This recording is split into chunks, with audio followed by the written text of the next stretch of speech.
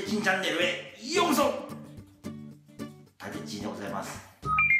今日はねまるでどら焼き風呂。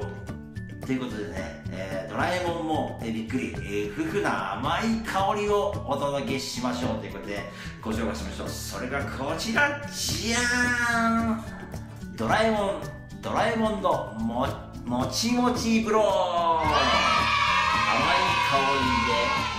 から気分ということでねこちらですよ。ドラえもんお風呂シリーズでございます。これねビレッジヴァンガードでね、えー、電撃で240円なんだけれどもなんとね、えー、どら焼きの香りがするというお風呂でございますよ。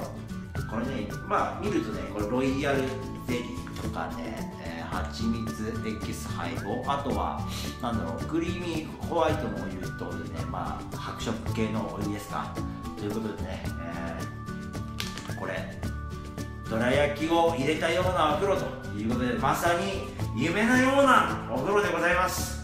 それでねこちらどんな感じかちょっと入っていきましょう。行ってみましょう。じゃあねこちら、えー、ドラえもんのもちもち風呂入れていきます。これね白い色みたいなのがどんな感じでうわ匂いはね甘い。すごい甘い匂いします。ちょっとじゃあ入れていきます。うわうわすごい。うわどら焼きっていうかすごい甘い匂いだね。うわ色も白くなってきましたよこれ。よしじゃあちょっと入りますよこれからよし入れたんでねじゃあ早速入っていこう。うわなんかねすごい甘い匂いがするねやっぱり。うん。よし。うん。甘い匂いがやっぱそうしますね、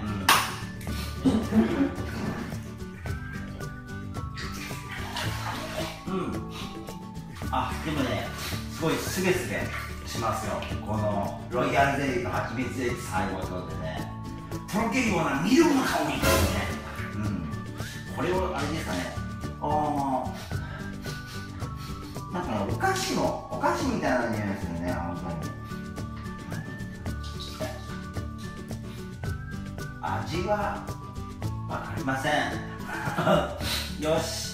これをこれのねこのお風呂に入ると。ドラえもんになった気分がする。